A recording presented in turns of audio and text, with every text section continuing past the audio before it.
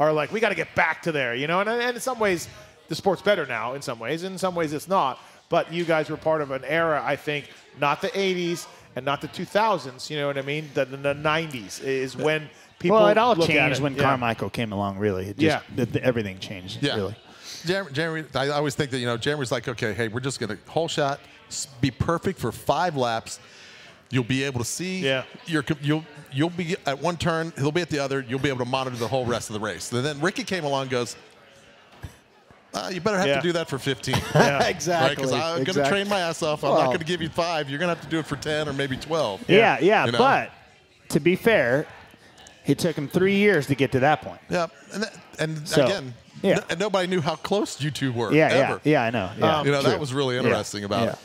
Yeah. Well, I mean, I, I, I even go back to like, uh, you know, they talk about, you know, the number seven, um, Stewart. I mean, Stewart is, well, for sure was unbelievably fast, but it's like Stewart's going to run with Carmichael for 20 minutes. It's the next, it's the last 10 that he's going to have a problem with, you yeah. know. Yeah.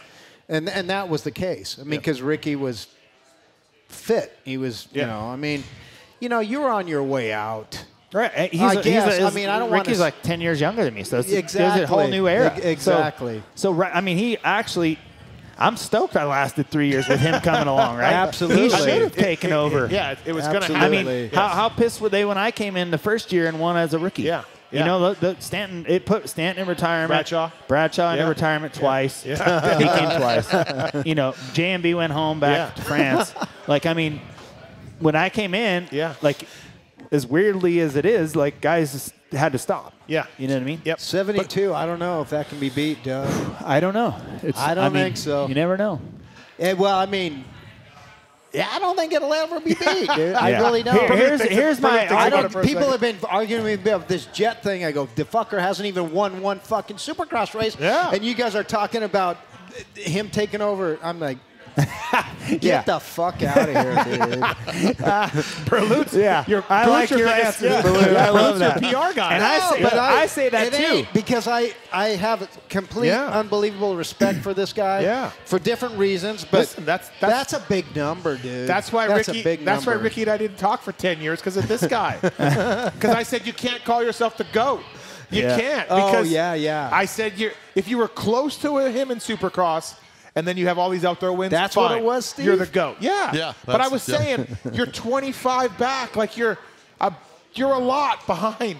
You can't be the goat. And then that was, you know, that was the start of it. But we're good now. I'm, Yeah, yeah, I'm yeah. not going to start it Well- again. But, but, but that's one of the things that Ricky was like, you know, fuck Mathis. And Yeah. I'm like, it's I'm- only a nickname. No, you know, Yeah, that- I- I just- it's interesting. though. Exactly. I- exactly. I go back to when you know he'd get on the motorcycle and it'd be like, "Hey, if if if, if you can give me this, I can do that," and it was always up the chain. You know, and, and now.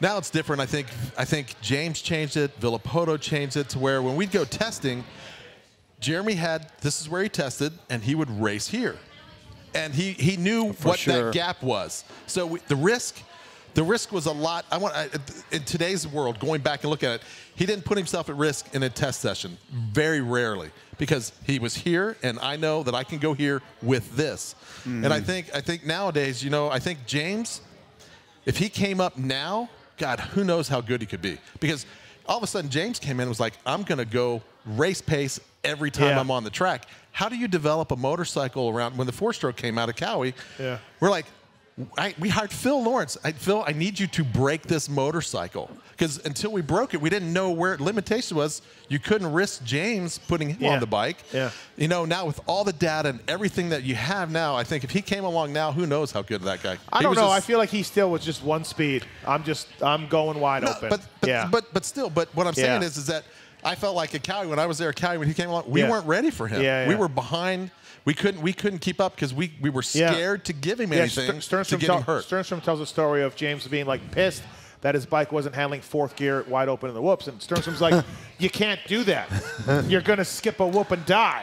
Like, Yeah, stop and he, it." he, you know? he did it all with his hand on the bar. No, no fingers on the clutch. yeah. He would ride the whoops like this. Yeah, yeah. And when, like- when, Yeah. when James came along, it reminded me a lot when we in '94, Supercross was the number one priority for Honda uh, Honda Japan, and we got data acquisition, we got all this stuff, and it was like, hey, what gear are you in when you hit the triple? We Now we know. Yeah, You know? yeah. And he knew everything. He was a dyno. So that's where I got my understanding of how important it is to know your motorcycle. Right. And then when James came along, we had all these, we had four different characters of motorcycle, right? You have guys that'll come out now and they'll go, Oh, I don't, I don't, I can't ride it because it's not where I ride it. You know, well, Yeah. this is the motorcycle. You need, should adapt to it or try to adapt Yeah. to it. James, by the time the first lap was around, he figured out and rode it where it made power in a lap. Yeah. Which was just we never we never were able to track that before. But Yeah. going back on it a little bit, I go, well, shit, he was just like that. Jeremy was he knew exactly what he wanted and where he was at. Uh. and that's I think a lot of times it's, it's a little bit lost. And I think you got some guys now that are coming through that maybe are better at understanding that than they were before because you talk about controlling everything with your laptop now. Yeah. That's where your advantages come from. I mean, all you have to understand is what you actually need, right? My, what I need is different than what you guys Yeah. need, right? Well- and I think Jett's got a good handle on that. He's- If I, if I he had a knows what he's- dollar for every time I heard about setup on a bike after a race, I'd, I'd, I'd be